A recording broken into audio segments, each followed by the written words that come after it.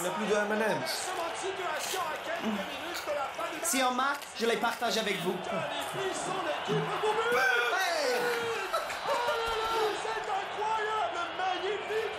Ça va, je blague?